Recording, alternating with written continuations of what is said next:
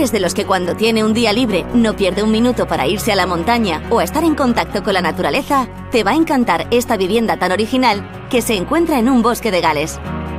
En la zona la conocen como la casa flotante, y es que lo más característico de su diseño es el módulo que se extiende casi sobre el río y la sensación de ligereza del edificio debido a sus grandes ventanas y a la falta de pilares en muchas de sus zonas.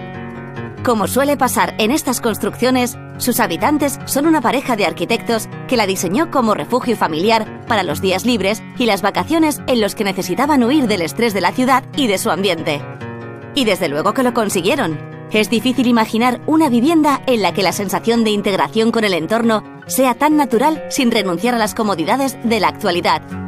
La casa tiene más de 220 metros cuadrados repartidos en cocina-comedor, salón y cuatro dormitorios, distribuidos en tres plantas.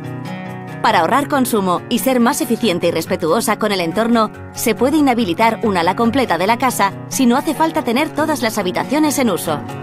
La luz tiene un papel protagonista en esta vivienda, ya que los ventanales del techo al suelo la dejan pasar sin pudor y por ello, conforme cambia a lo largo del día, la sensación en las estancias va cambiando con ella. Madera, piedra y cristal son los materiales que predominan en toda la vivienda, dándole un acabado rústico y natural, acorde con su situación. Sin embargo, decidieron amueblarlo con piezas modernas y coloridas, creando un contraste perfecto, una de las piezas más destacadas es la chimenea que no se apoya en el suelo.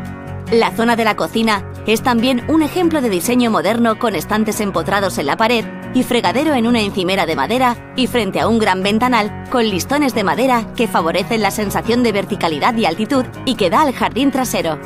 Los colores que eligieron para la decoración no hacen más que incrementar la integración con el bosque, ya que las paredes y elementos arquitectónicos son siempre de madera, negros o verdes. Un buen ejemplo son las escaleras al aire. Aunque cuando nos sentamos en el salón y podemos ver las nutrias nadar en el río, nos da la sensación de estar aislados completamente de la civilización, en realidad la casa se encuentra a tan solo 8 kilómetros de la ciudad de Brecon. Un refugio perfecto para respirar aire puro, eso sí, si no tienes vértigo.